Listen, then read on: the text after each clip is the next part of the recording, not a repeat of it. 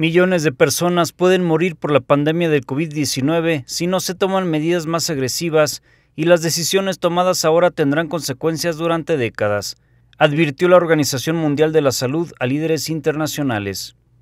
En rueda de prensa, el director general de la OMS, Tedros Adhanom, afirmó en una llamada con los líderes del G20 que la pandemia de coronavirus es la crisis de salud que definirá nuestra era.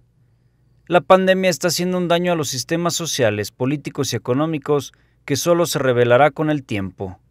El director del organismo exhortó a realizar más acciones contra el virus, porque las medidas de aislamiento no extinguirán la pandemia.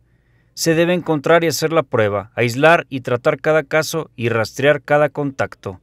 Esto no es una opción, es una obligación, reiteró.